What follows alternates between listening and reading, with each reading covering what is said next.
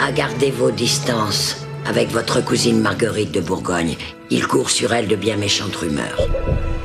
Pourquoi ne profites-tu pas des aubaines, comme nous? De nos trois maris, c'est le tien qui est le plus souvent absent. J'en suis sûr. Vos trois frères sont cocus, madame. Avez-vous parlé de tout ceci au roi, mon père? Ben, je ne suis pas bien en cours depuis que j'ai perdu mon procès contre ma tante Mao. Précisément ne pourrait-on croire que vous agissez à présent par vengeance? Et bien sûr, madame, j'agis par vengeance. Ce qu'il faut régler, c'est le sort des princesses adultères. La mort, la mort, la mort La douleur vous égare, Louis. Isabelle, quel est votre conseil?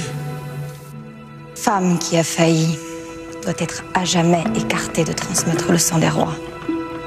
Ainsi, notre sire en a jugé. Il les a condamnés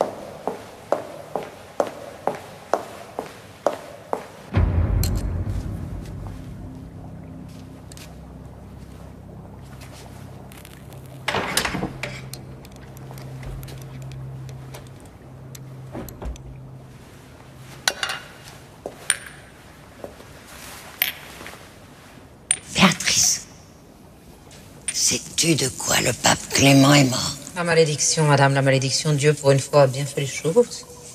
La main de Dieu frappe fort quand la main de l'homme s'en mêle. Non. Ces physiciens, pour le guérir de son mal d'entrailles, lui ont fait avaler de la poudre d'émeraude. Très bon remède qui tranche les voyous. Il doit y avoir un ancien templier derrière ça. Et comment le sais-tu? Je le sais. En tout cas, cette mort nous sert. Il n'y a plus de pape pour démarier mes filles. Il faudra attendre le prochain.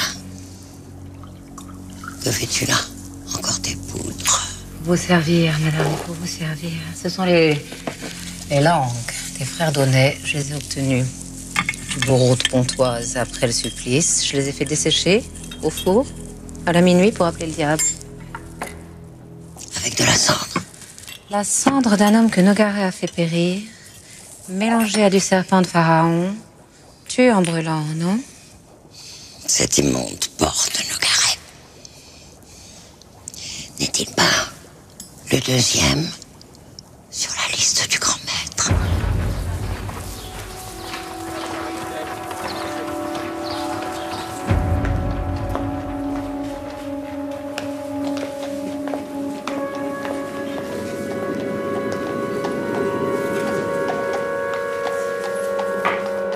Viens vous payer la dépense de l'hôtel d'Artois. Tu dois être content. Le pape Clément est mort. La malédiction de Maître Jacques commence à s'accomplir. Veux-tu l'aider à frapper encore Qui? Ton pire ennemi? Celui à qui tu dois ton pied boiteux. Nogaret. C'est ce point ici qu'il vient se fournir en chandelle Je connais un moyen très sûr d'empoisonner les chandelles, un moyen qui ne laisse pas de traces et qui n'a pas de remède. Subtegmine Guillaume, subtegmine Guillaume, cusquetanem, cusquetanem, recubans, recubans, recubans, Guillaume, recubans.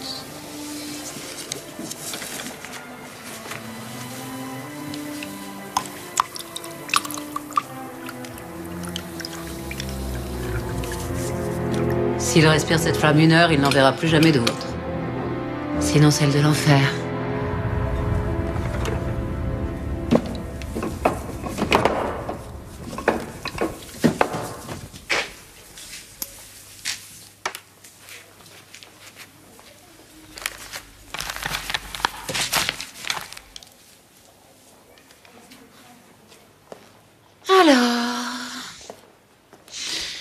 Tu faisais quand tu étais templier?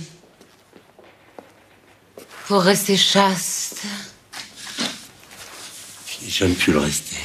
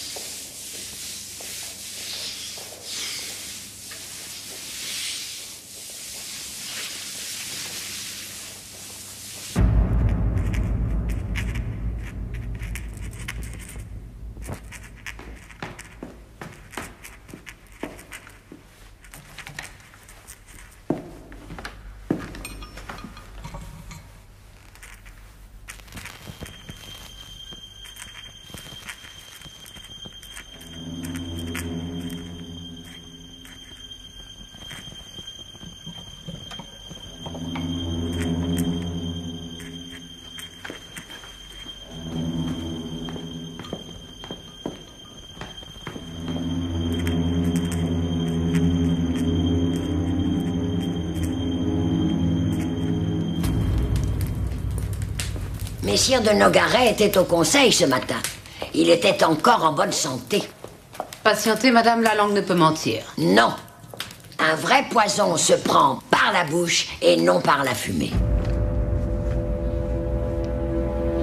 Nogaret, votre conseil.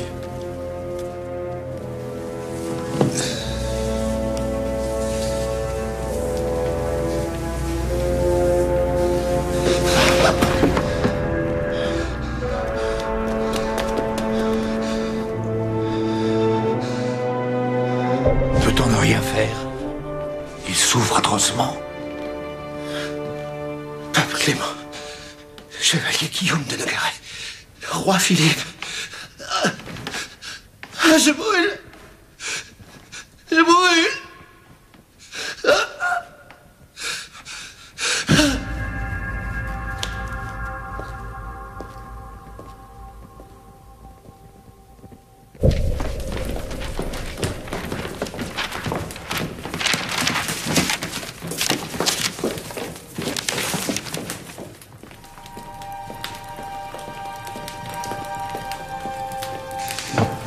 Clément, au bout d'un mois, un mois après Nogaret.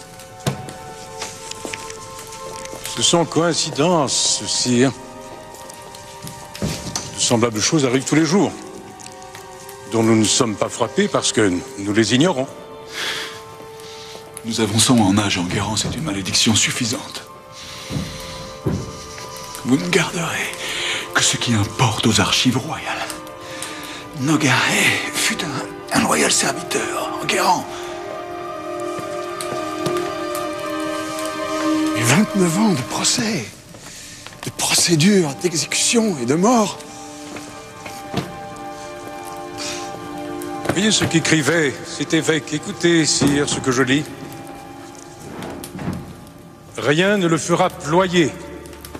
C'est un roi de fer. Un roi de fer. Promettre l'avait dit aussi. Bien su cacher mes faiblesses. Nous avons canonisé mon grand-père, le roi Louis IX. Mais était-il vraiment un saint? Sire, une famille de rois est mieux respectée si elle compte un saint. Les Juifs? En avons-nous pas brûlé trop?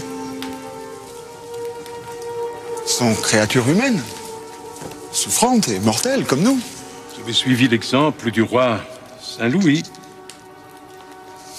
Le royaume avait besoin de leur richesse. Pourquoi? Pour quelle fin? Où sont mes victoires? Gouverner est une œuvre qui n'a point d'achèvement. Et peut-être vais-je mourir dans quelques semaines? Et qu'ai-je fait qui, qui- qui- qui soit assuré de durer après moi? Le royaume, sire. De combien de villes, de provinces l'avez-vous étendu? Vous l'avez fait le plus puissant de l'univers. Son peuple est malheureux. Partout, il crie, je le sais, se plaint du renchérissement du blé et des maigres salaires. Il ne peut comprendre que ce qu'il réclame et que je voudrais lui donner dépend du temps et non de ma volonté. Il n'est guère qu'un moyen de remplir un peu les caisses du trésor. Oui, sire. Les Lombards. Ah non, pas les Lombards. Je ne veux pas refaire la même erreur. La menace se précise, Ptolomée. Marigny prépare en secret une mesure qui touche les privilèges des compagnies lombardes. Fort heureusement, nous avons commencé à transférer nos avoirs hors de France. Une grande partie de nos richesses est à l'étranger. Mais Marigny le sait, ça. Et il se servira de cette fuite pour justifier sa mesure. Et lancera de vous comme des Templiers. Partez. Rentrez en Italie tant qu'il est encore temps. Du calme. Calmez-vous, calmez-vous. Nous n'en sommes pas encore là, monseigneur, et puis je crois posséder le moyen d'enchaîner et peut-être, oui, peut-être d'abattre Marigny. Quand l'heure sera venue, nous aviserons, mais j'aurai besoin d'être aidé. Eh bien, mon aide vous est acquise, Ptolomée. Et celle de mon oncle Valois aussi.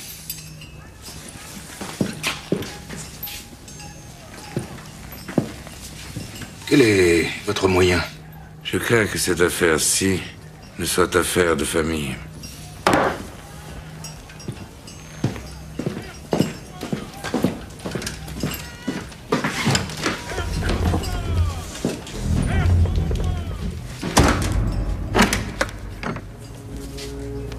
Voici la décharge signée par l'archevêque de Sens, le frère de Marigny, pour les biens volés aux Templiers. Si par hasard il m'arrivait malheur, tu remettrais cette pièce à Monseigneur d'Artois qui la donnerait au comte de Valois, lequel saurait en faire bon usage. Voici également les créances de Monseigneur d'Artois et quelques pièces de son procès contre sa tante Mao. Je le croyais votre ami. Je ne pense pas qu'il refuserait de t'aider si le besoin s'en faisait sentir. Mais tu seras plus convaincant si tu lui présentes euh, ta requête dans une main et ses comptes dans l'autre. Tu vas les mettre tout ceci en lieu sûr. Notre comptoir de Naufle me semble tout indiqué. Notre comptoir de Naufle n'est pas à l'abri des archers. Ces documents seraient peut-être plus en sécurité chez les bonnes gens. Tenez chez les deux Cressets, par exemple. Ils nous sont redevables, et si les choses n'ont point changé, leur fille Marie acceptera de m'aider. Bien, je vois que tu commences à comprendre. Chez un banquier, le bon cœur doit toujours servir à quelque chose. Tu as confiance en eux Je réponds d'elle comme de moi-même. Le sort de nos compagnies est à présent pour moitié dans tes mains, pour moitié dans les miennes. N'oublie pas ça, petit.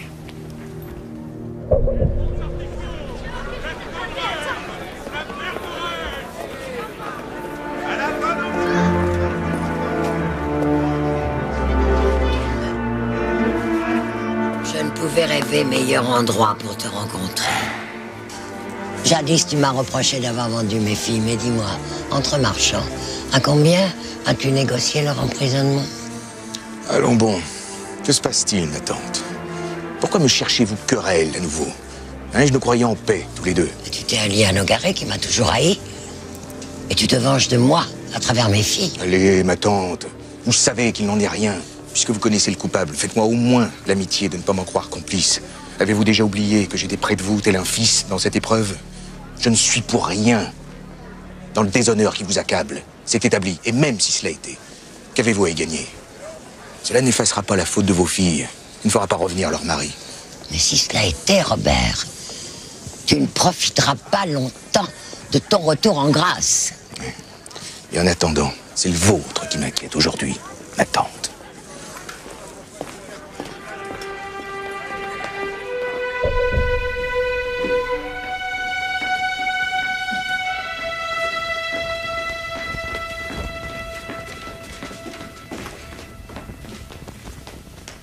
Monseigneur, il court sur nos compagnies certaines rumeurs déplaisantes. Naturellement, ces rumeurs nous inquiètent. Je vous avoue qu'elles gênent fort notre commerce. Votre commerce n'est point affaire du royaume. Et puis, on parle trop. Vous ne devez accorder foi à ces rumeurs. Monseigneur, je ne puis vous cacher que nous sommes très attachés à notre terre d'élection. Et nous souhaitons aider le royaume. Pour cela, je me suis permis de, vous apporter cette petite contribution.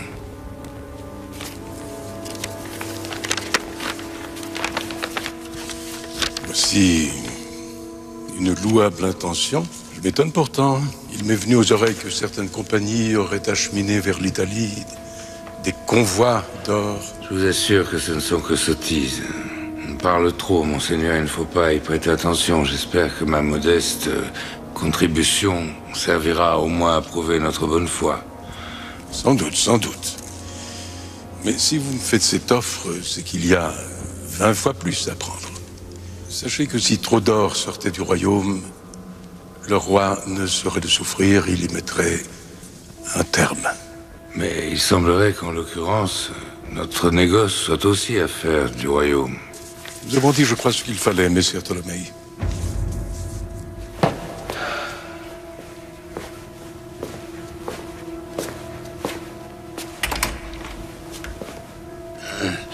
Monseigneur, votre frère, l'archevêque de Sens, est-il en ville? Il y est. Alors, votre seigneurie aurait-elle l'obligeance de lui faire savoir que je souhaite l'entretenir au plus tôt du sujet qu'il sait J'ignorais qu'il était en affaire avec vous. Je crois que la première vertu d'un bon banquier est de savoir se taire. Toutefois, étant donné que vous êtes euh, frère de Monseigneur de Sens, je peux vous confier qu'il s'agit de son bien, d'une autre et, et de celui de notre Sainte Mère l'Église. Dites-lui de venir me trouver le plus tôt possible, s'il lui plaît.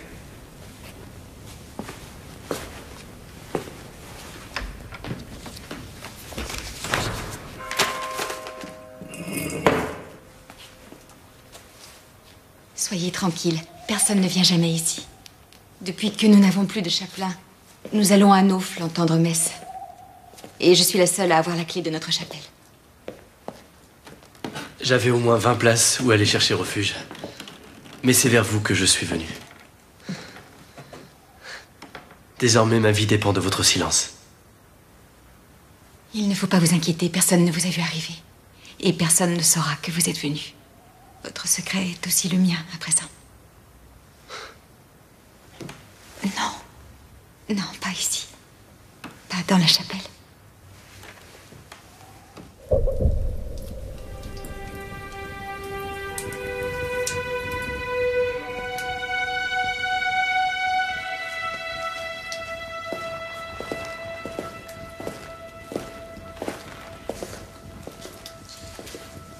Mauvais printemps pour le royaume.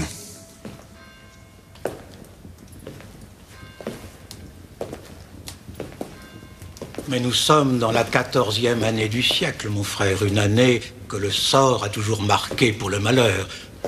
Mais cette fois-ci, mon frère, le malheur est le produit de votre entourage.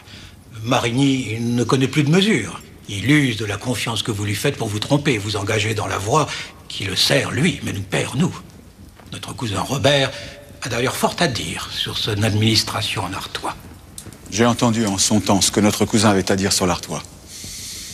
C'est ce chapitre que je considère comme clos, Monseigneur de Marigny m'a plus judicieusement conseillé que vous, mon frère.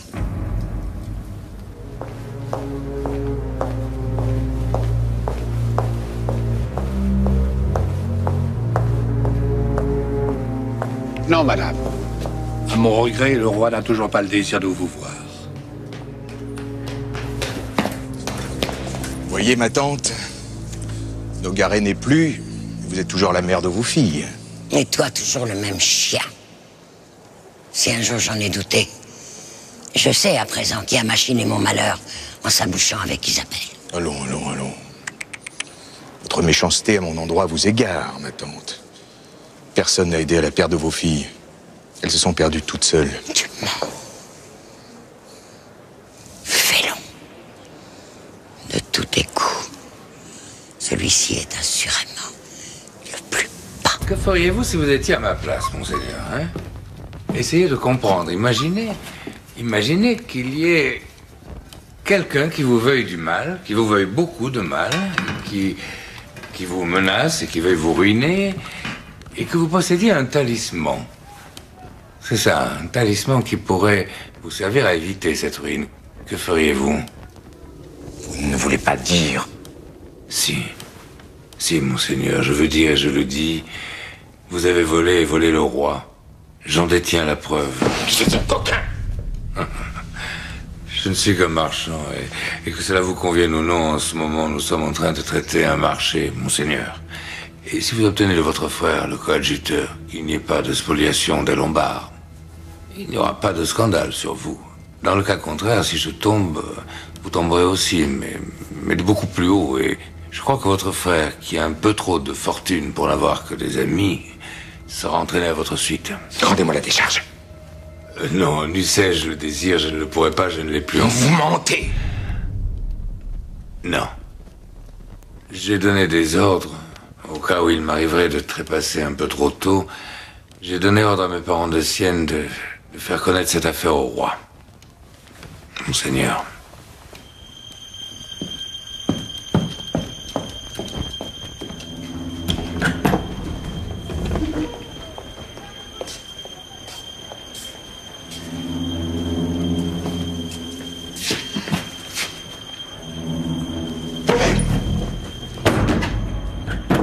Trahi Trahi par ma propre famille Vous êtes pire qu'une bête, car elle ne morde pas la main qui les nourrit. Vous n'êtes rien Et encore moins mon frère Vous avez bonne mine de m'écraser. D'où vous vient votre fortune? De quel juif écorché De quel templier grillé? Je n'ai fait que vous imiter. Si j'avais su qui vous étiez, je, je ne vous aurais point fait, archevêque. Et vous n'auriez trouvé personne qui acceptât de brûler le grand maître. Tant de travail pour rien, tant de travail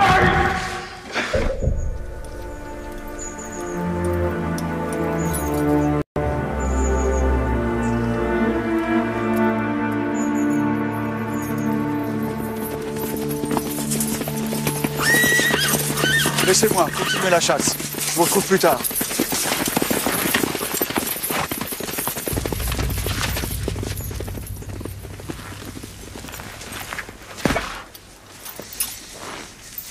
Je n'ai pas souvenance, madame, de vous avoir convié à venir ici. Vous n'avez point fait, sire. C'est donc que je ne souhaitais pas vous y voir. Ces mots, je suis venu ici pour les entendre de votre bouche, mon cousin, et non de celle de vos valets.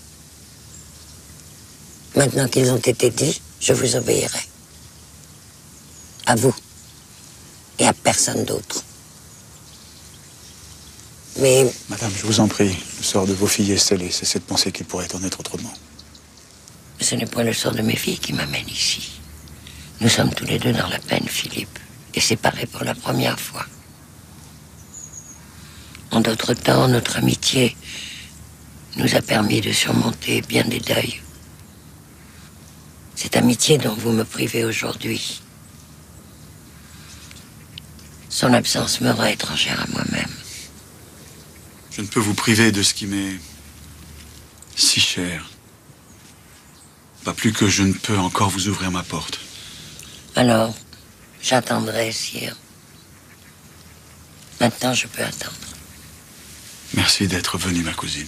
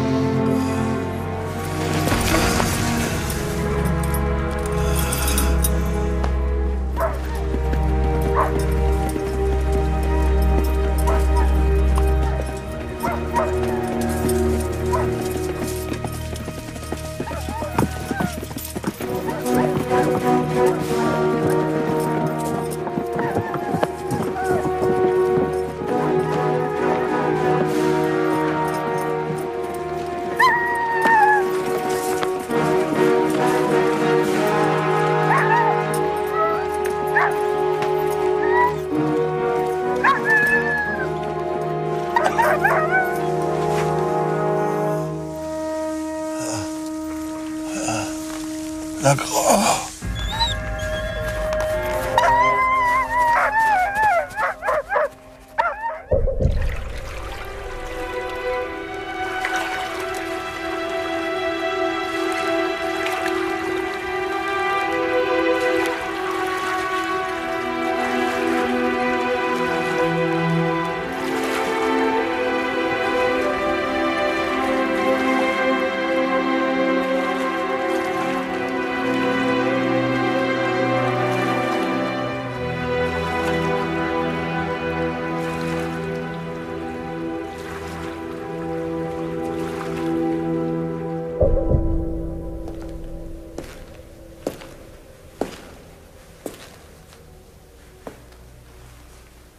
Deux mois qu'il erre à l'intérieur de lui-même.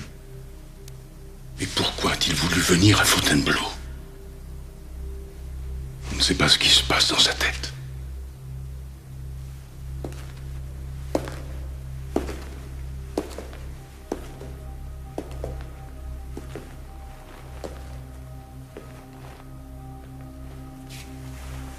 Le conclave n'a pas pris encore sa décision.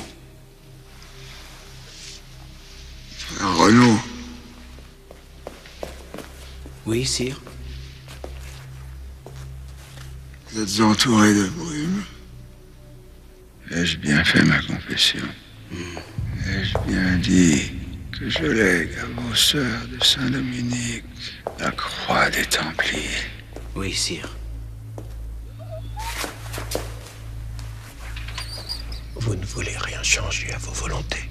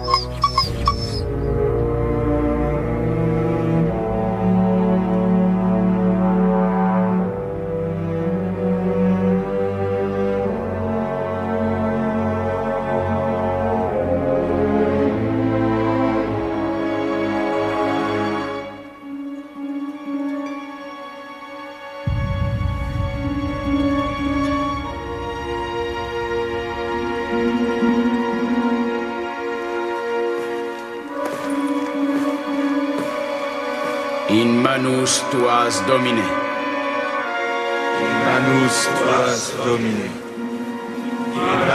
Tuas domine. Je gage qu'avec celui-ci, l'Artois ne tarde à changer de main. Jamais, Robert. Moi vivante, jamais.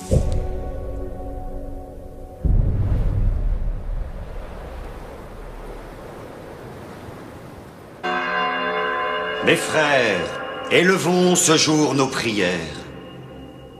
Dieu vient de rappeler à lui l'âme de notre bien-aimé et noble roi Philippe.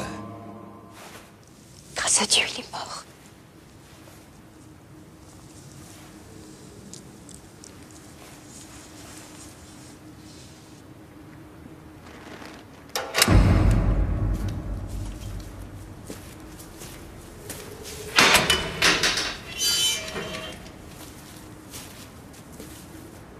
Sire Berzumé, savez-vous qui désormais vous gardez? Je le sais, madame. Et je ne cesse d'y penser depuis que le chevaucheur qui allait vers Rouen m'a fait éveiller. Alors prenez garde désormais de me tenir à l'abri du gel et de la vermine. Depuis sept mois que je suis recluse ici, je suis lasse de mâcher du bois pour garder mes dents blanches et de moindre les mains du lard de ma soupe pour que ma peau n'éclate pas de froid. Je n'ai point d'ordre, madame. Voulez-vous attendre qu'on vous commande d'ouvrir les portes pour témoigner quelque égard à la reine de France? Puisque vous êtes reine, madame, vous comprendrez que je sois fidèle au service du royaume et que je ne puisse enfreindre les règlements qui m'ont été donnés.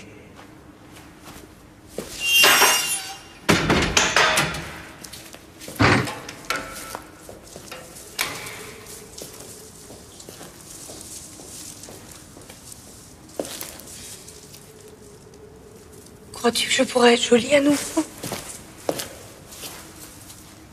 Je dois avoir bien vieilli pour que tu me poses pas la question.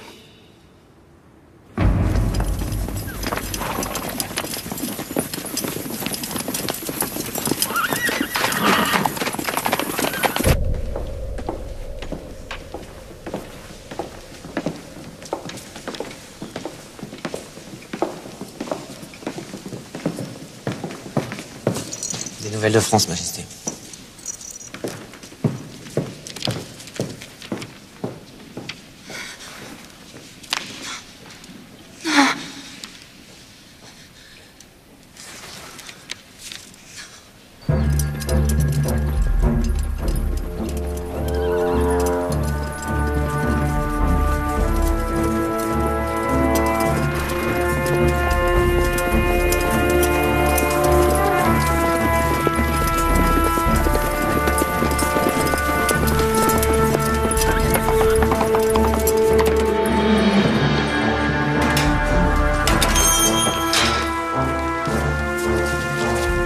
Feu. Qu'on ôte ce grabat, qu'on mette un lit, des chaises, des tentures, enfin. Et à manger Et à manger, bien sûr, madame. Des pâtés, des rots, du vin, bersumé, beaucoup de vin, allez Mes cousines, je suis venu vous délivrer. Non, un message. Un message de qui? Allez. De Louis, votre époux. Notre roi désormais. Et de notre bon cousin Valois. Louis me est-il toujours? Ah, ça oui, madame. Je ne vous le cache pas. Il vouait bien. La paire de cornes dont vous lui avez décoré la tête le gêne assez pour mettre par-dessus la couronne de France. Que veut-il? L'annulation de votre mariage. Il demande l'annulation? Hmm. Qui puis-je? Eh bien, beaucoup, justement. Reconnaissez que vous êtes toujours refusé de corps à votre époux. Que votre fille n'est pas de Louis. De la sorte, l'annulation ira de soi et vous vivrez où et comme il vous ira. C'est vouloir me faire proférer un gros mensonge. Il me faut réfléchir avant de décider. Bien.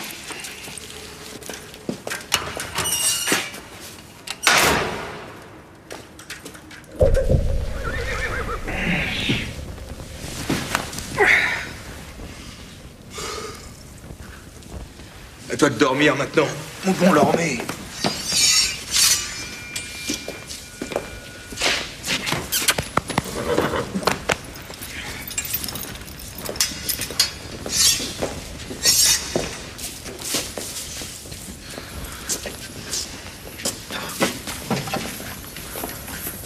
Là tout ce que vous m'apportez lorsque j'avais demandé bonne chère C'est miracle, monseigneur, qu'on ait pu trouver cela par ce temps de famine.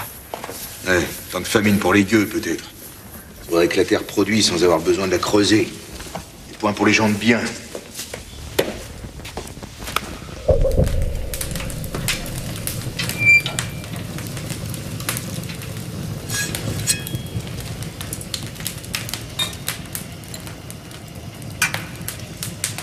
Alors, ma cousine, avez-vous réfléchi? Je réfléchis, mon cousin. Crois bien que je vais dire non.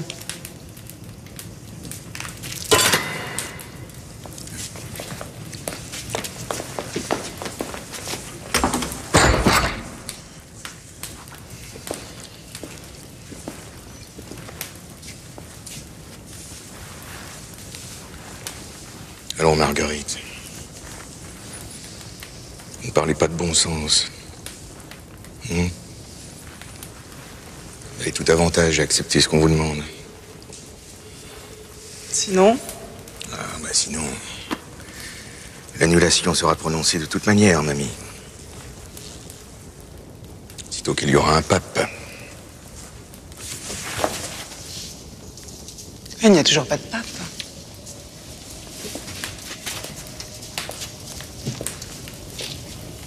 Toi qu'il n'y a pas de pape, on ne peut rien sans moi.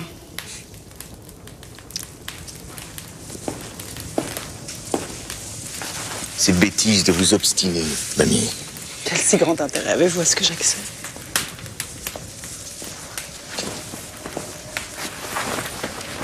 Je veux satisfaire Louis pour qu'il me favorise. Je veux le satisfaire pour reprendre ma terre d'Artois, à cette truie de Mao. Vous voyez bien que nous devons être alliés. Que vous importe en vérité de dire que votre fille n'est pas de Louis, puisque vous n'avez jamais aimé cet enfant Non, si je ne l'aime point, n'est-ce pas justement la preuve qu'elle est de mon époux? Allez, délivrons-nous de cette lettre à écrire, pour n'être ensuite occupés que de nous. Faisons monter le chapelain qui la rédigera. Il attend en bas. Il attend en bas? Vraiment? Ah, mon cousin, m'avez-vous cru assez sotte pour me laisser prendre à vos câlineries Vous irritez mes sens pour mieux me soumettre à votre volonté. Vous en usez avec moi comme le font les catins d'ordinaire avec les hommes. Mais vous oubliez qu'à ce métier-là, les femmes sont plus fortes. Et vous n'êtes qu'un apprenti. Non. Tu te trompes, Marguerite. Je ne cherche que ton bien. Je ne signerai point. Violez-moi si vous voulez, vous êtes plus fort, mais je ferai savoir quel ambassadeur vous faites. Ma fille est de Louis. Et s'il vient à mourir, ce que je souhaite de toute mon âme, elle sera reine de France et il faudra compter sur moi comme reine mère. Je ne peux pas rester plus longtemps avec vous. Je dois retourner à Paris pour l'enterrement du roi. C'est une bien petite chance que vous courez là, mamie. Bien petite. Je n'en ai point d'autre, je la garde.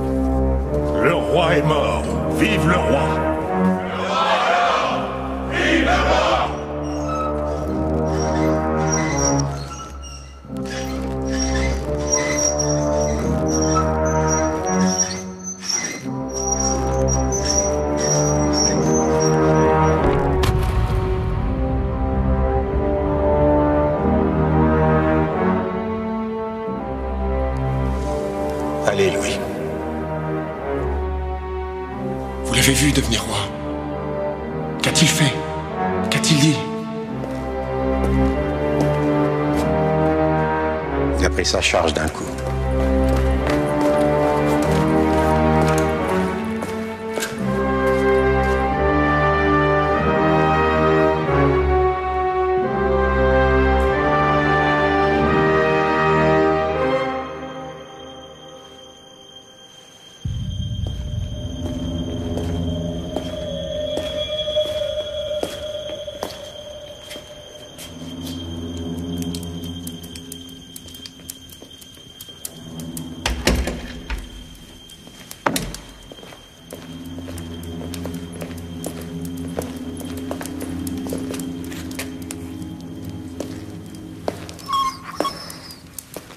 vais demander qu'on te chasse.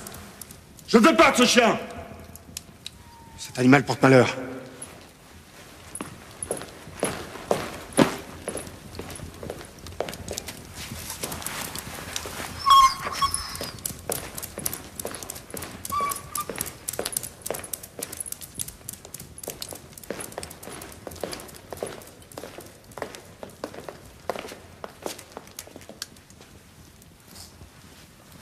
Madame Jeanne, allez saluer Messire le roi, votre père.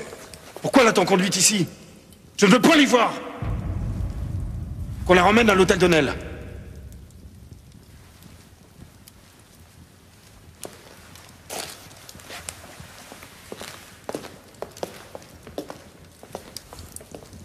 Louis, c'est votre fille. L'est-elle? C'est déjà trop que d'avoir en douté. Le peuple rit de moi. Je le forcerai à me respecter. Et d'abord que mon mariage avec Marguerite soit rompu. Je veux que mon déshonneur soit effacé. Tu es sûr qu'elle ne cédera pas? Ah, je me suis heurté à une telle dureté de refus que je puis vous assurer qu'on n'en obtiendra rien. Votre épouse espère seulement que vous mourrez avant elle. Eh bien, mon oncle, tout cela n'est pas aussi facile que vous me l'aviez prédit. Et l'annulation n'est pas pour demain.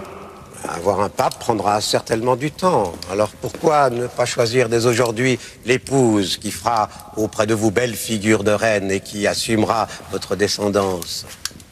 Auriez-vous quelques noms en tête? Oh, mon Dieu, il y a des dizaines de princesses euh, qui aimeraient euh, ceindre la couronne de France. Euh, Tenez par exemple, sans chercher bien loin, ma nièce, Clémence de Hongrie. Son frère Caroberto règne maintenant sur la Hongrie et son oncle est roi de Naples. Évidemment, elle a un petit peu dépassé l'âge ordinaire du mariage. Quel âge a-t-elle? 22 ans. Ouais, mais cela ne vaut-il pas mieux que ces fillettes qui jouent encore à la poupée Qui, comme Marguerite, se révèlent lorsqu'elles grandissent pleines de vilainie et plongent dans la débauche? Tout cela sonne trop bien. Elle ne serait pas brune au moins, comme notre bourguignonne. Ce cas, moi, je ne pourrais point. Mais non, elle est blonde et de bonne race franque. Non, mon neveu, c'est la plus belle femme de Naples, aussi belle que vertueuse. Les peintres essayent d'imiter ses traits lorsqu'ils peignent aux églises le visage de la Vierge. Belle et vertueuse. À mon cousin, vous la lui avez bien vendue, votre nièce Clémence. J'en connais un ce soir que ses draps vont brûler. Allons, Robert, c'est du roi que vous parlez.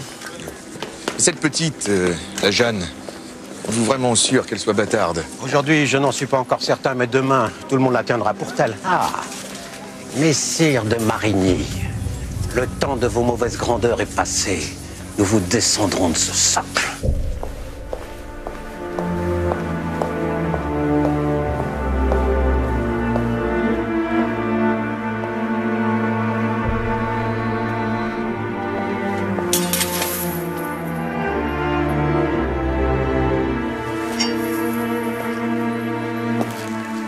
Votre pauvre frère ne semble guère vaillant. Sa santé m'inquiète. Il faut être robuste pour être roi.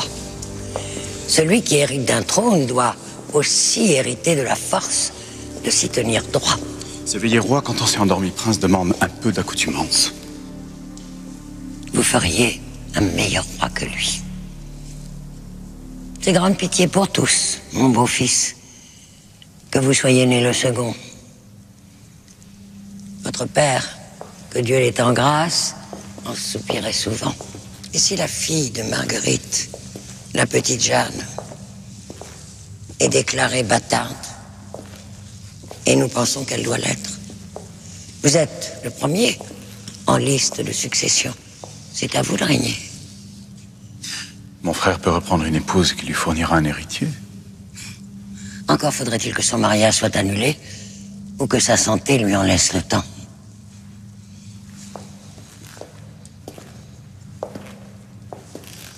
Quel sentiment avez-vous pour ma fille Jeanne? Votre épouse vous aime. Elle ne vous a jamais trahi, ni par le corps, ni par l'esprit. Marguerite est coupable. Pape Clément, chevalier Guillaume de Nogaret, roi Philippe, avant un an, je vous cite apparaître au tribunal de Dieu pour y recevoir votre juste châtiment. Hein?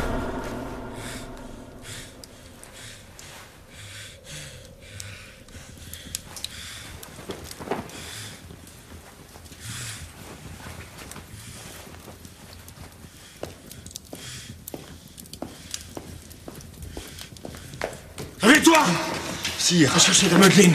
Oui, sire. À l'instant.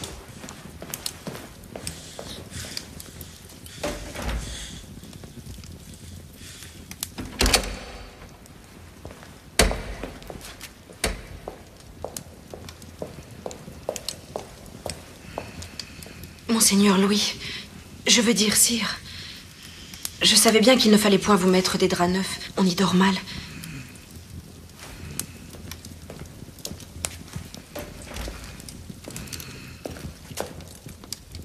Ce n'est point pour les draps que je vous ai fait venir.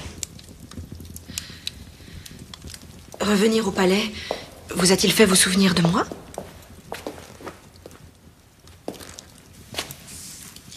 Et votre fille? Où demeure-t-elle à présent? Elle demeure chez ma mère. Je n'ai point voulu la garder ici avec moi. Elle ressemble trop à son père. C'est celle-là au moins Je puis penser qu'elle est de moi. Chaque jour, son visage est plus pareil au vôtre. Cela serait vous gêner que de la laisser voir ici aux gens du palais. Quel âge a-t-elle? Neuf ans tout juste, sire. Je lui donnerai une position de princesse quand elle sera en âge de se marier. Je le veux. Et toi? Que veux-tu?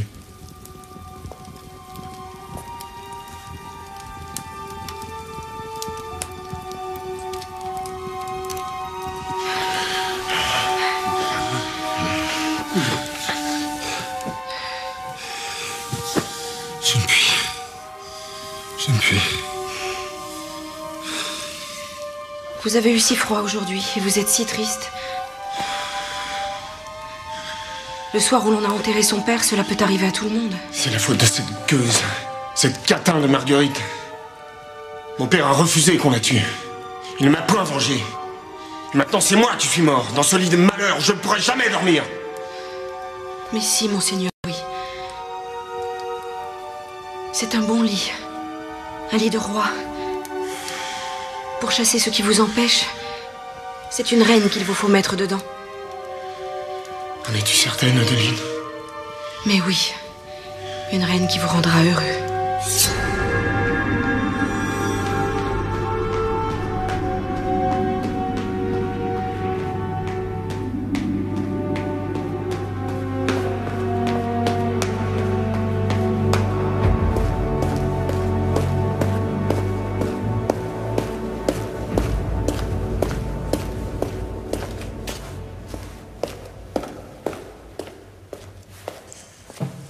Messire de Presles est-il malade Messire de Bourdonnais, de Briançon et Dubois ont-ils été empêchés Je ne vois aucun d'eux.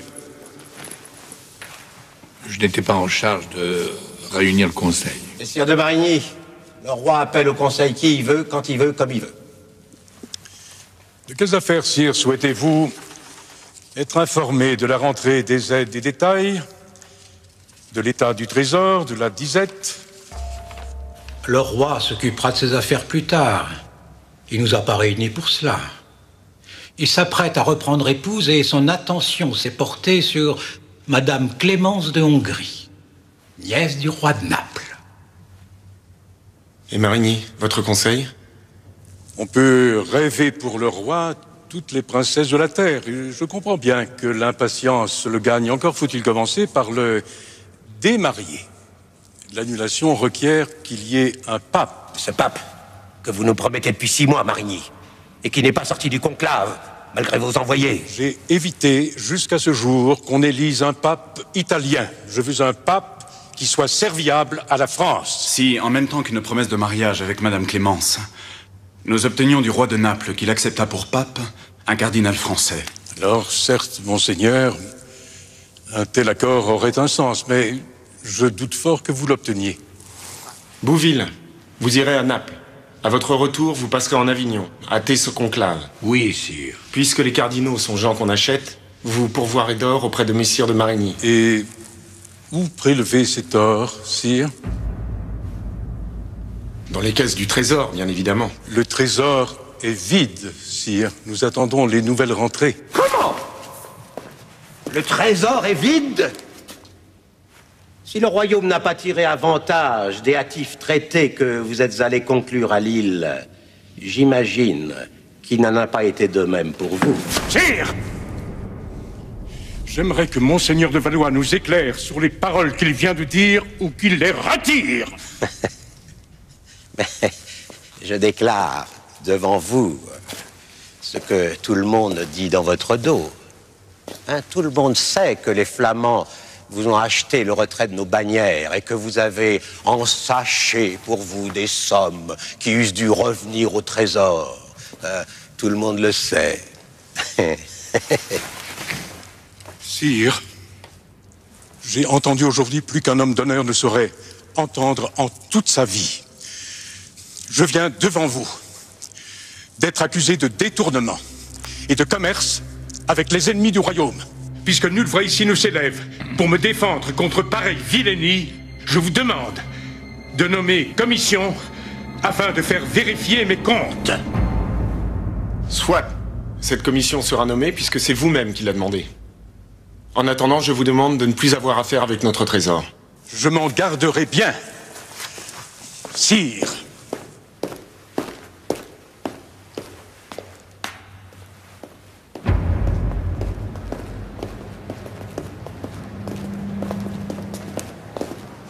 De paix en Avignon.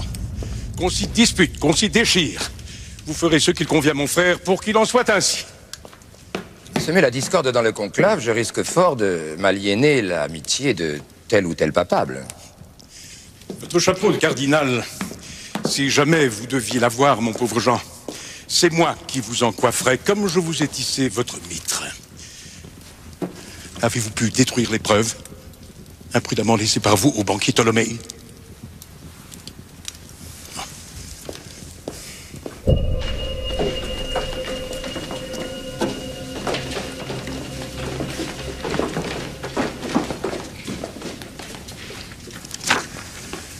vas te rendre à Château-Gaillard.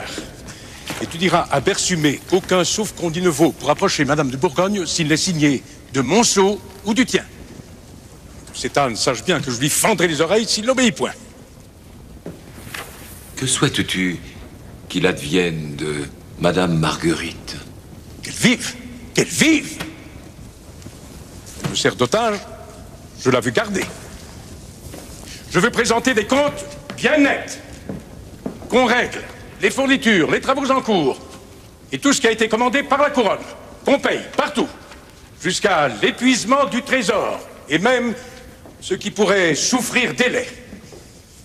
Monseigneur de Valois veut s'assurer la mainmise sur le trésor, eh bien, il se retournera les ongles à le racler. Il faudra qu'il cherche ailleurs la monnaie de ses intrigues. Le tour que Marigny vient de nous jouer sera le dernier. Je vous promets, je l'abattrai. Le banquier que j'ai fait mander ce matin ne saurait tarder. Il vous aidera. Bon, il exigera des gages. Mais il vous aidera. Oh, la fortune m'a toujours trahi. Je suis empereur titulaire de Constantinople, mais mon royaume n'existe pas dans cette maison même. Tout est engagé aux trois carrés. Je dépends maintenant d'un usurier siennois pour commencer à remettre quelque ordre dans ce royaume. Ah Messire Ptolémée Ami banquier, je vous ai grande dette. Mais je vous ai toujours promis de vous payer à la première faveur que me ferait le sort. Eh bien, le moment est venu. Voilà une heureuse nouvelle, monseigneur. Je veux m'acquitter de la reconnaissance que je vous dois en vous procurant un client royal. Monseigneur, que puis-je pour votre service? Ben, Mais ce que peut un banquier, messire? Nous avons besoin d'un peu d'argent frais pour envoyer une ambassade à Naples. Et puis savoir à combien se monte votre besoin? Dix mille livres. Santa Madonna. Où vais-je trouver cet argent?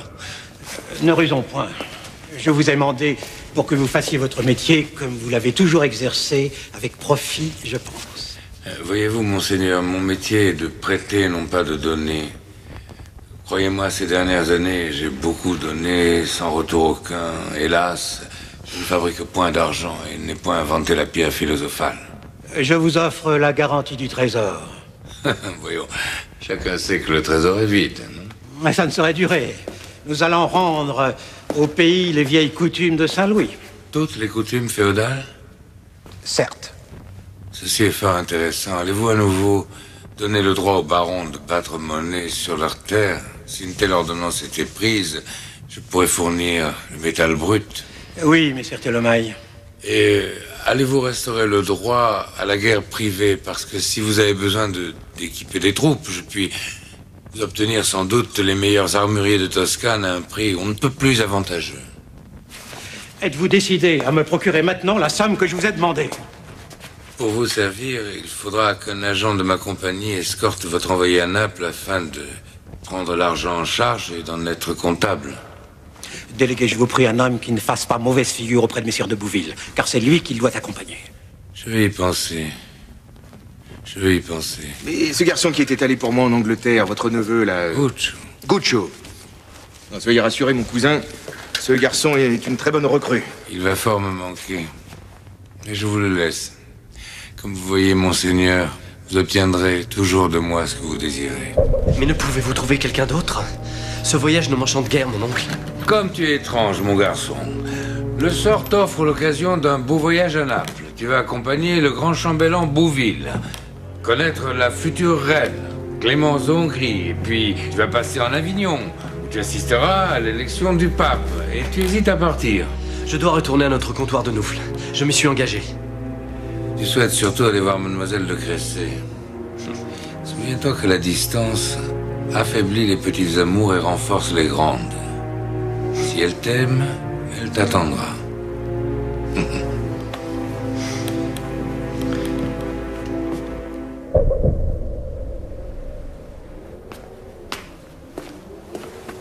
Voici mon neveu, Guccio Tolomei. Il vous accompagnera pendant tout le voyage et vous fournira en or qu'il ira prélever auprès de nos comptoirs. Alors, mon garçon, vous êtes satisfait?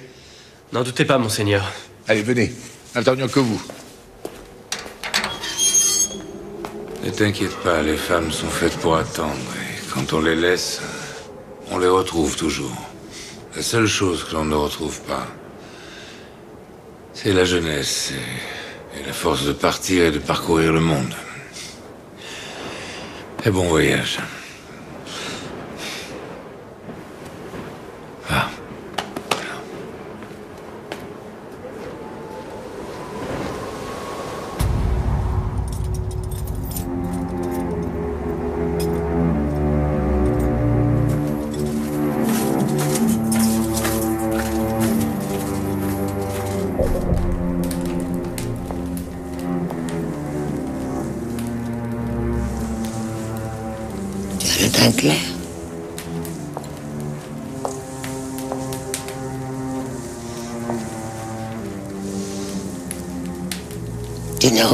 Peu maigri.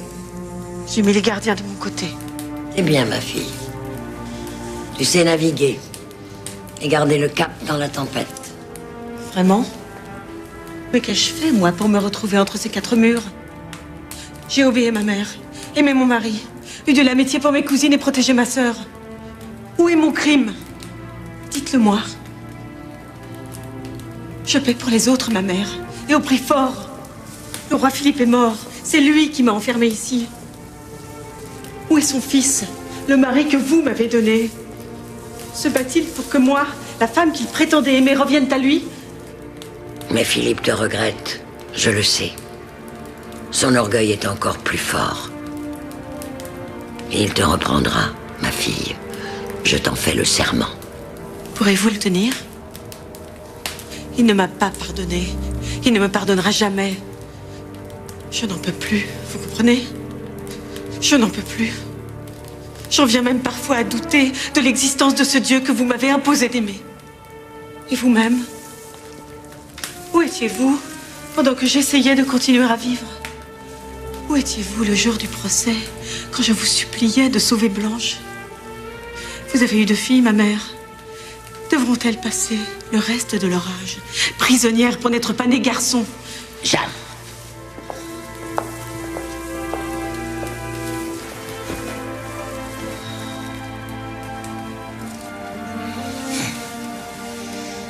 Il me semble que tes cheveux repoussent plus drus qu'auparavant. Oui, mais ils poussent lentement.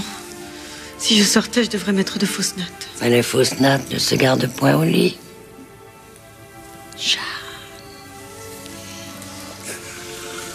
Je vais te faire sortir d'ici. Mais le roi est le mari de Marguerite. Il n'acceptera jamais. Le roi ne pense qu'à se démarier. Mais sans pape, point d'annulation. J'ai acheté des cardinaux pour qu'ils retardent l'élection. Et d'ici là, j'aurai trouvé le moyen de te faire sortir d'ici. Arracher ta sœur de Château-Gaillard, c'est une autre affaire. Vous avez vu Blanche? Louis me l'interdit. C'est le seul pouvoir qu'on lui laisse. Et encore, pour servir d'autres desseins que le sien. Mais Dieu m'a toujours soutenu. Il me viendra encore en aide. Jeanne, je suis père de France. Ton mari est le deuxième personnage du royaume. Un grand avenir s'ouvre à toi. Quand il sera temps, je te le ferai savoir. Prends ton mal en patience. Le pire est passé. Tu seras reine, ma fille. Je t'en fais le serment.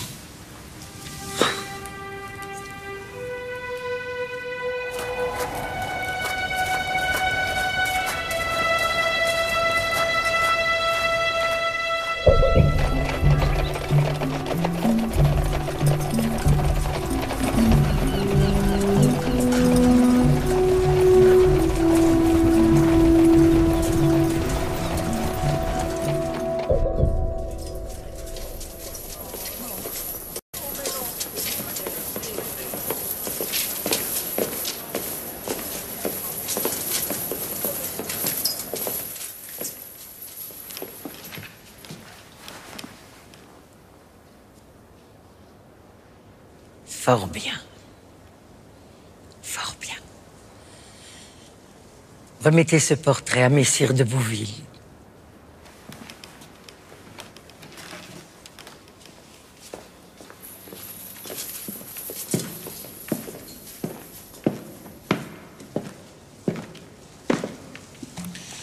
Prenez-en grand soin. Ainsi donc, Messire, votre mission est accomplie. Enfin, presque. Comment presque Cette affaire de mariage est presque réglée, puisque mon fils et moi donnons notre accord au projet. Mais cet accord, Messire, reste à condition. Notre réponse définitive n'interviendra que lorsque votre roi sera libre de Madame de Bourgogne. Nous obtiendrons l'annulation avant peu, sommes entre nous.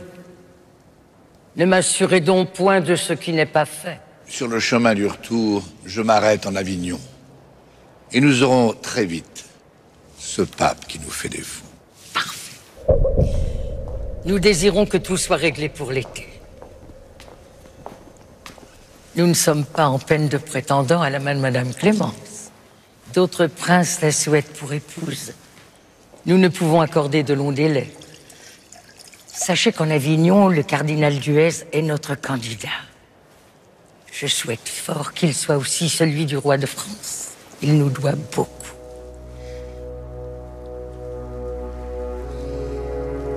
S'il devient pape, vous obtiendrez l'annulation plus vite. Tout cela est dans la main de Dieu. Avant l'été, messire. Je vous le rappelle, avant l'été. Avant l'été.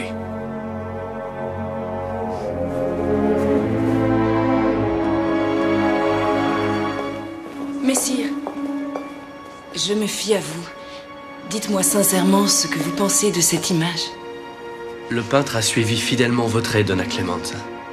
De plus, il s'est appliqué à peindre aussi votre âme. Mais croyez-vous que le roi de France l'aimera? Bien sûr, il l'aimera, madame. Et il vous aimera. La France n'aura jamais connu reine aussi belle.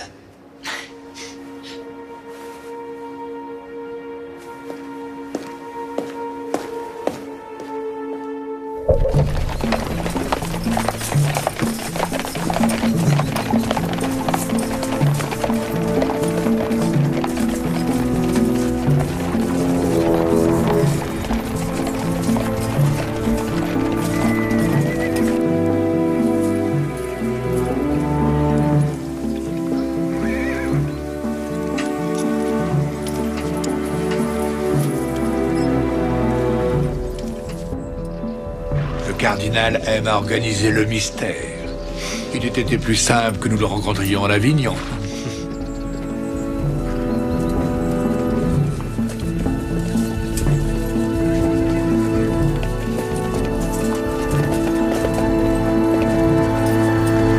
Souvenez donc, messieurs de Bouville, de la part du roi de France, qui me fait l'honneur de sa confiance. Cependant, vous êtes aussi envoyé de la reine de Naples, qui ne m'aime guère, mais qui aurait changé d'avis? Je voulais vous exprimer le souhait du roi Louis et de la reine de Naples d'avoir un pape au plus tôt. Alors c'est qu'on a quelque chose à me demander. Quel service attend-on de l'élu? Le roi a besoin de faire annuler son mariage au plus vite. Annuler? Est moins difficile que de retrouver les voix que m'a fait perdre Marigny, qui ne m'aime guère. Mais, monseigneur, qu'est-ce qui se passe au conclave? Les Italiens sont contre les Français. Les Français contre les Italiens, et tous sont divisés entre eux. J'avais six voix, six Français pour moi, et trois Italiens. Ça fait neuf? Il faut 16 voix. Il m'en manque sept. Notez que les Français qui n'ont pas voté pour moi ne sont pas assez nombreux non plus pour avoir le pape que désire Marigny. Alors tout repose sur Marigny Aujourd'hui, oui.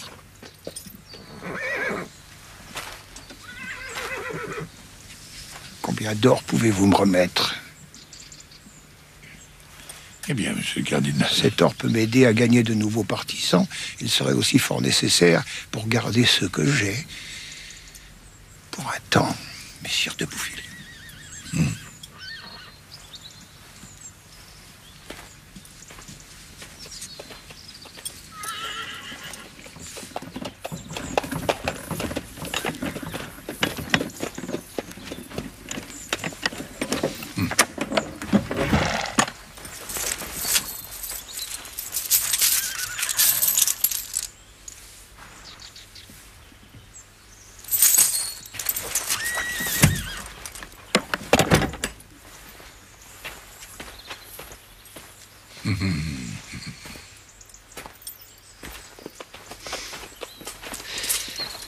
Ainsi donc, messire, vous êtes parvenu à acheter fort cher le seul candidat qui fut déjà de notre côté.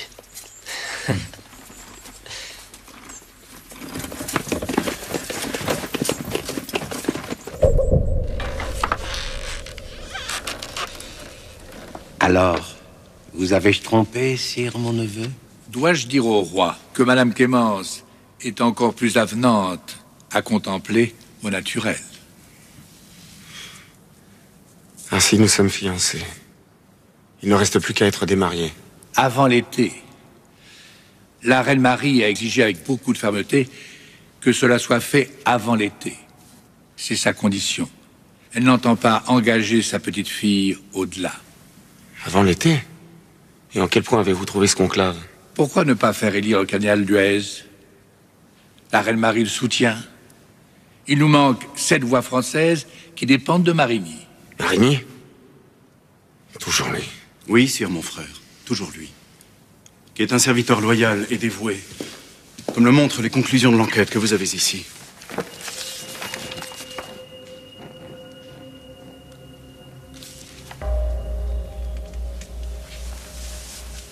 Croyez-moi, signer son quitus, c'est accomplir un acte dicté par la justice. Vous êtes sûr que Sol Marinier peut venir à bout de cette affaire? C'est mon sentiment aussi.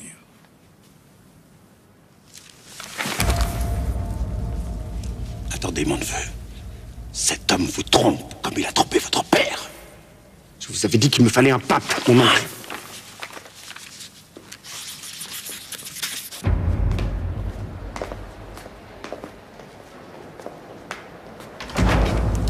Le roi te confie à nouveau les clés du trésor.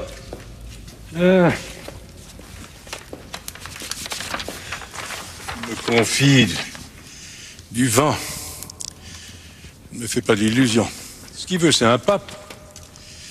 Dès qu'il l'aura, Valois fera en sorte que je ne sois plus rien. Qu'as-tu donc? Je veux mourir. Comme ça, tu resteras seul.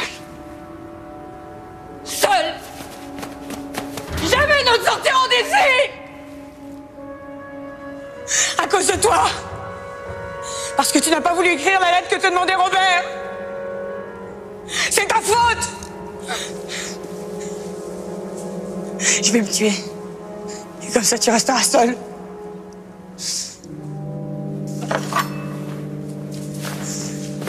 Bien, crève Crève donc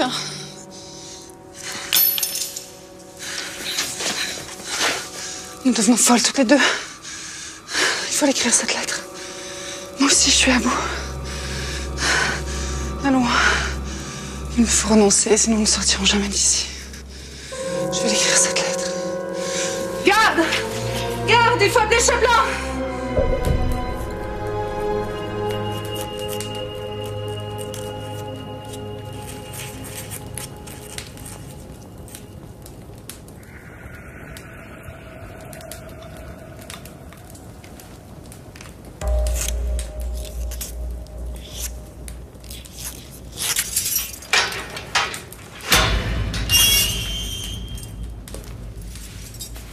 Messire Bersumé, cette lettre doit parvenir au plus vite à Monseigneur d'Artois.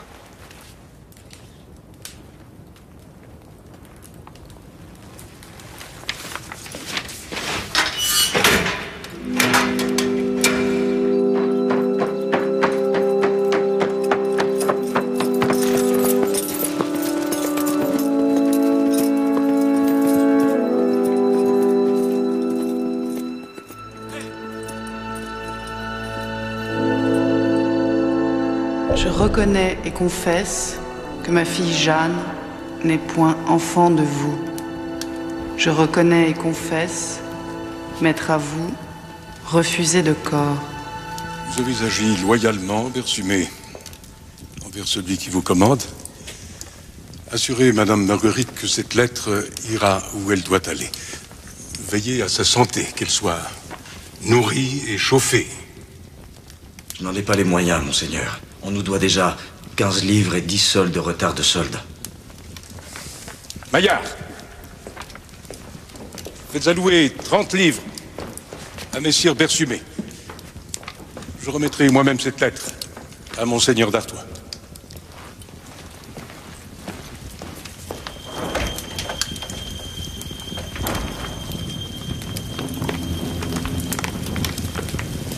Désolé, Marguerite.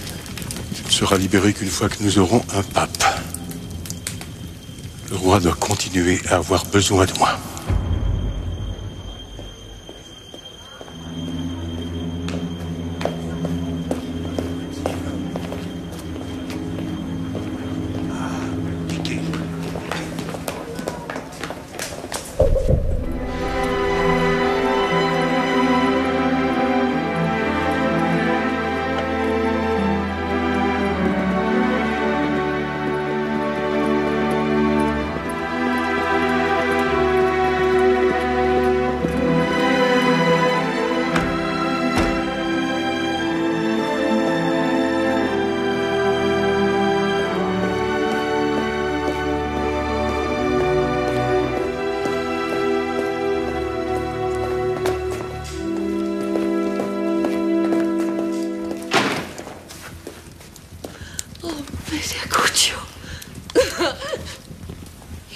Bien que c'était vous. Où sont vos fils À la chasse comme chaque jour. Hier, ils ont réussi à tuer un chat. Nous n'avons plus rien à manger que nos manants. Et mademoiselle Marie Hélas.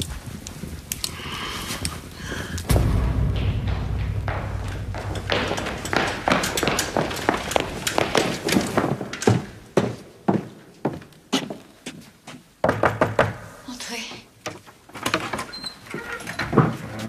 Messire Guccio. Marie Ma belle Marie, de quoi souffrez-vous De la crainte que vous m'ayez abandonné. Non. Je suis allé en Italie pour le service du roi. Je suis parti si hâtivement que je n'ai pu vous en avertir.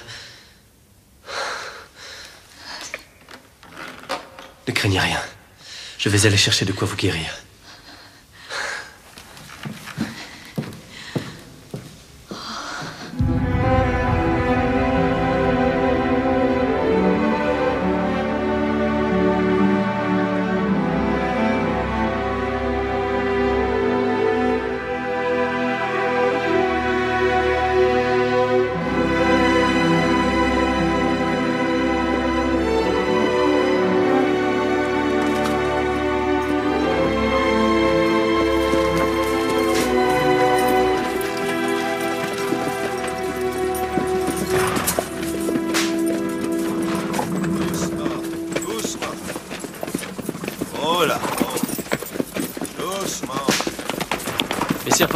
Ah, messire Baglioni. J'obéis aux ordres de Paris. Monseigneur de Marigny craint des émeutes et veut tenir sa capitale en main. Tous les prévôts du royaume sont tenus de lui envoyer chaque semaine deux charrettes de vivres. Comme toujours.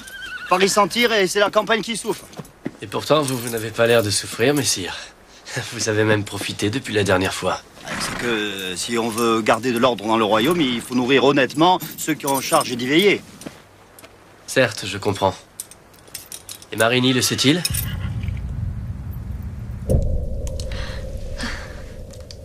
Du miel Mais seriez-vous un magicien Je ferai bien plus pour vous voir reprendre des forces. J'ai craint de mourir sans savoir ce que je devais faire de ce que vous aviez caché dans la chapelle.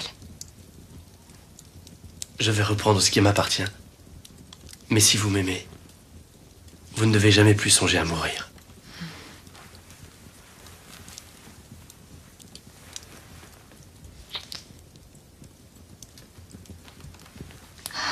Ne pensez-vous pas que Guccio était pris de Marie, pourtant se soucier de nous?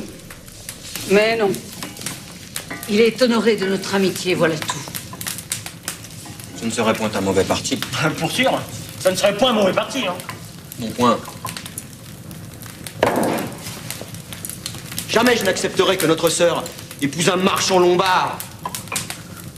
J'y veillerai. Marigny et Louis ne se quittent plus. J'ai perdu l'oreille du roi. Le retour en grâce de ce serpent me dessert autant que vous. Sans la faveur du roi, je ne retrouverai pas ma terre d'Artois. Je le ferai pendre. C'est vrai que je suis. Je ferai pendre ce bourgeois. C'est c'est déjà pitié que Marigny vous trouble l'humeur. Ne laissez pas vous couper l'appétit. Euh, Qu'en est-il de cette rumeur sur la famine dans le peuple? Tout ce qu'il y a de vrai, monseigneur.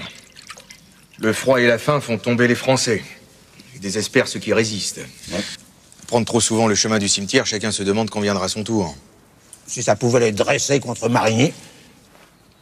Non. Le peuple de Paris attribue la famine aux Templiers. Ils sont tous morts. Eh ben justement. On dit qu'il suffisait d'être présent devant le bûcher pour devenir victime de la malédiction du grand maître. Allons, mon oncle. Buvez.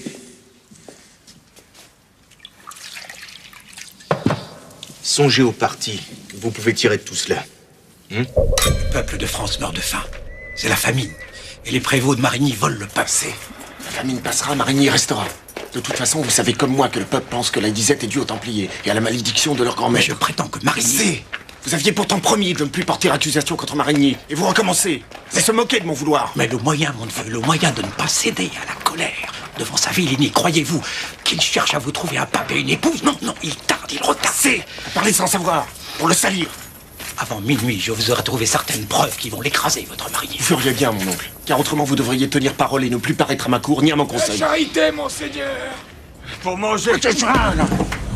Ami banquier, il me faut ce document dont vous m'avez parlé un jour, qui compromet le frère de Marigny.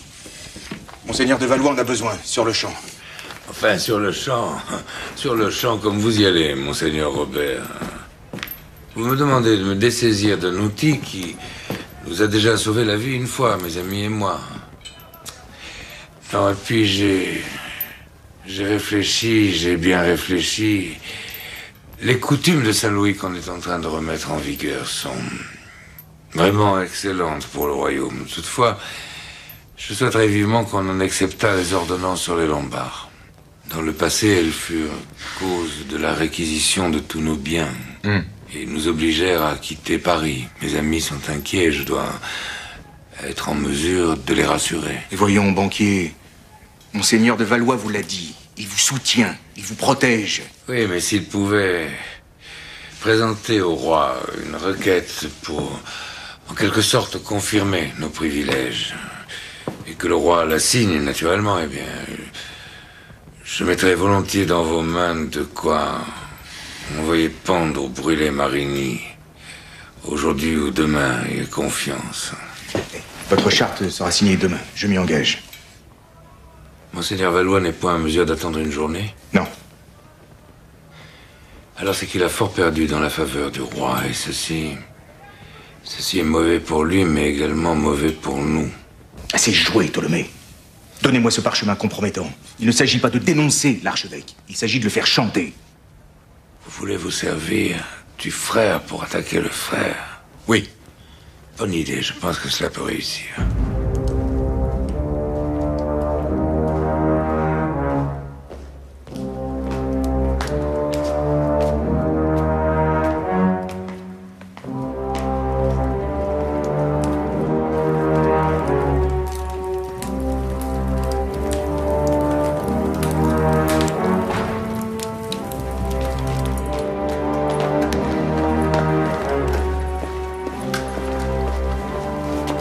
Reconnaissez-vous cette décharge, signée un banquier lombard, qui prouve que vous avez détourné du trésor certains biens des Templiers?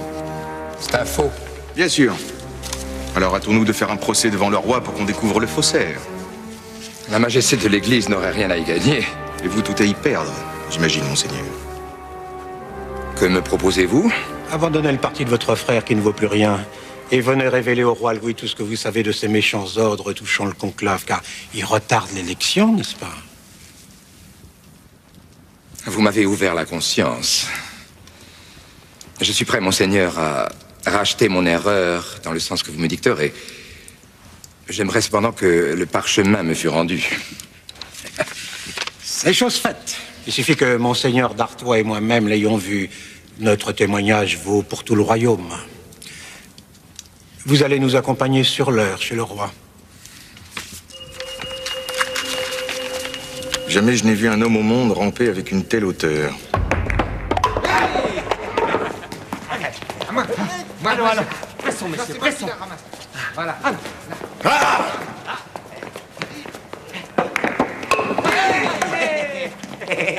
Je vous avais pourtant conseillé cet hiver de chasser Marigny. Son propre frère vous a apporté la preuve de sa trahison. Il a abusé de ma confiance. Marigny a retardé l'élection du pape, et bien il va devoir l'accélérer maintenant, ou il lui en cuera.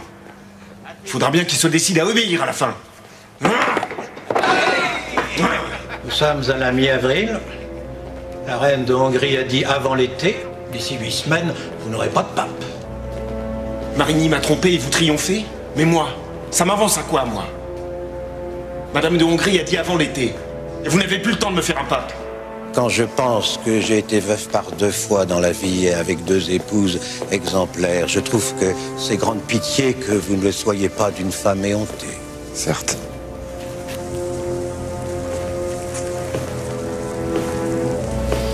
Si seulement elle pouvait trépasser. Oui, si seulement elle pouvait trépasser.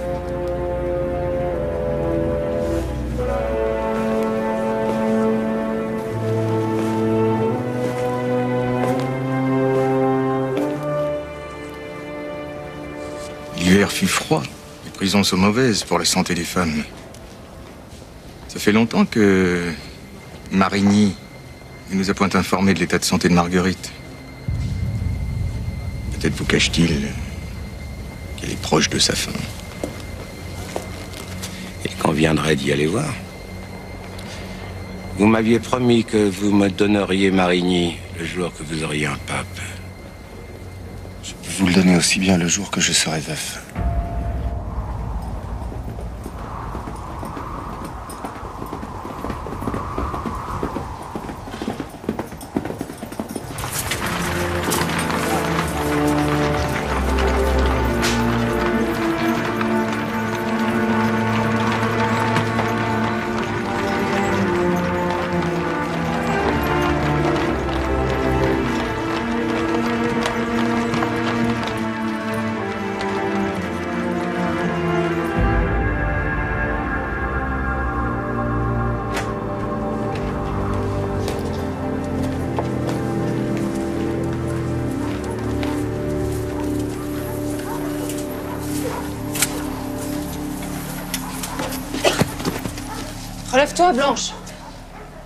La joie de te voir à terre.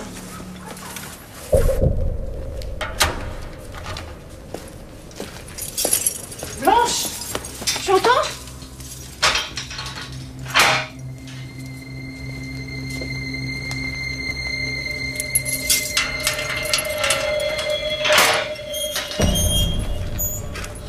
Oh, Robert.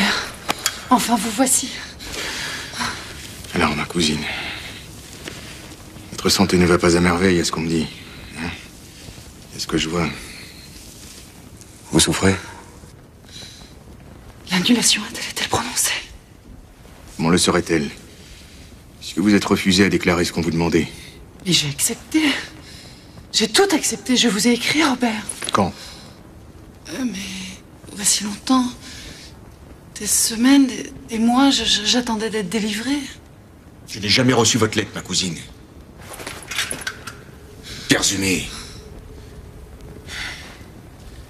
Vous serez bientôt libéré. Je venais justement pour recueillir vos mots pour hâter à la fois la justice du roi et votre grâce. Allez, venez. Mais que dois-je déclarer? J'ai déjà dicté la lettre. Vous n'avez plus qu'à la signer. Sire, mon époux, je me meurs de chagrin et de maladie. Je vous supplie de m'accorder votre pardon, car si vous ne le faites pas vite, je sens que l'âme va s'enfuir de moi. Tout est de la faute de Monseigneur Marinier, etc., etc. Mais mes aveux? Ne sont plus nécessaires. Ce que vous signez là remplace tout. Allez.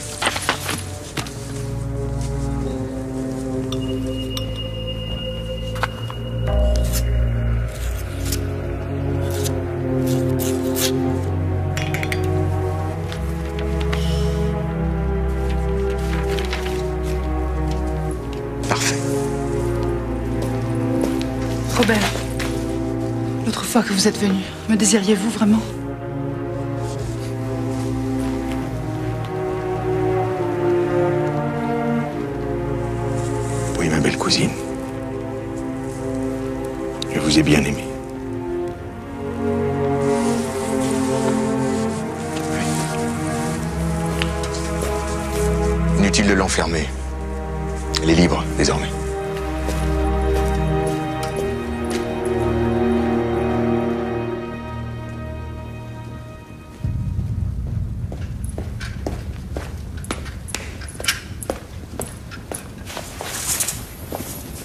Faire en ces murs La nuit et sans escorte Rien de bon. Seulement, il va falloir compter avec moi, Robert. Je ne bougerai pas d'ici tant que tu y seras. Comme il vous plaira, ma tante. Seulement, la femme tenaille. La bouillie des archers ne me tente guère. Je l'ai me restaurer. Eh bien, nous irons ensemble. Et tu me conteras comment tu as obtenu ce droit qu'on me refuse.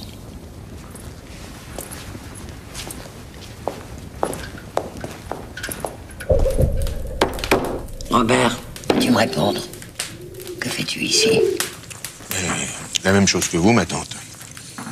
Je rends visite à de pauvres prisonnières injustement punies. Grâce à toi. Qui les a faites condamner J'aurais du mal à en apporter la preuve. Cela n'existe que dans votre imagination. J'en ai la certitude, cela me suffit. Ouais. C'est le roi qui t'envoie. Il s'inquiète de l'état de santé de son épouse. Marigny a perdu sa confiance. Il craint fort que ses ordres soient allés au-delà de la punition qu'il souhaitait lui infliger. Voyons, Robert. La fable est un peu grosse. Chacun sait qu'il souhaite sa mort. Alors le ciel est avec lui. Il va exaucer ses vœux. Marguerite est bien mal en point. Je crains fort à voir son état qu'elle ne passe pas la semaine. Et Blanche,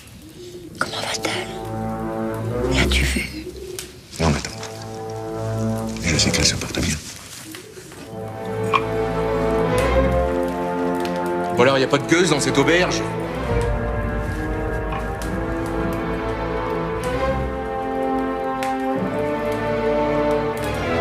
Bah, les peintres, Robert. Elle est comme ma fille. Je l'ai élevée dans ta haine.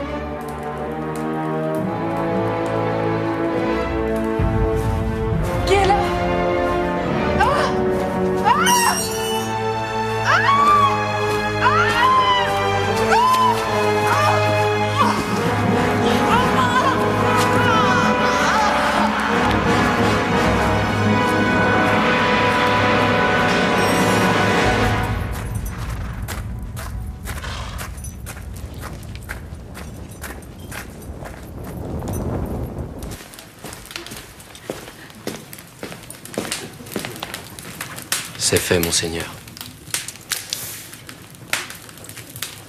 Point de trace Non, j'ai rompu les os du col. La face ne sera pas noire et j'ai remis le lien en ordre. Tiens. C'est bon tout de même d'être vivant. Hein? Maintenant, le roi et Valois ne peuvent plus rien me refuser. Bientôt nous dormirons en Artois, de l'armée.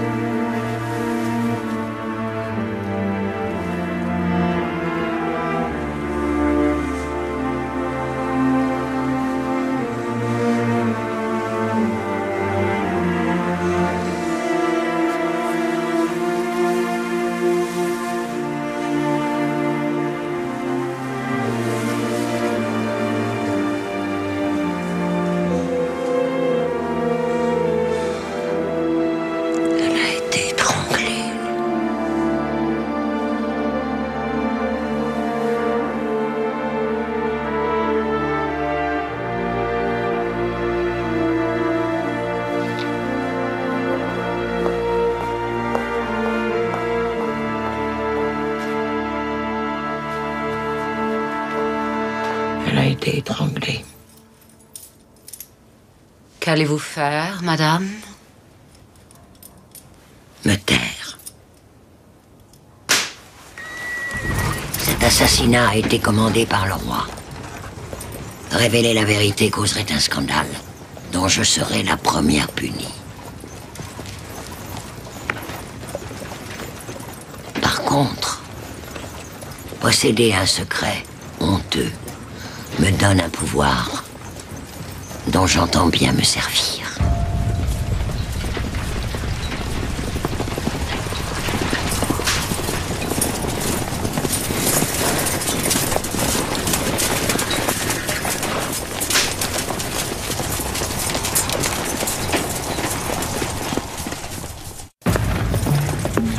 Ici commence l'Artois, mon comté, ma bonne terre.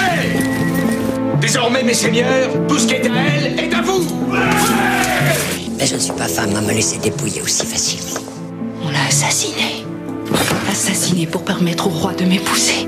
Peut-être a-t-on décidé de me faire subir le même sort. Le pire est à redouter. Vos inquiétudes sont fondées. Il veut la guerre Il va l'avoir Je la tiens. Vous vous attaquez à ma fille pour me faire fléchir Sans sa manière de chevalier. Ce que je souhaite, c'est sauver votre âme. Suis-je donc maudit de ne pouvoir réclamer de qui j'aime Quelle fatalité.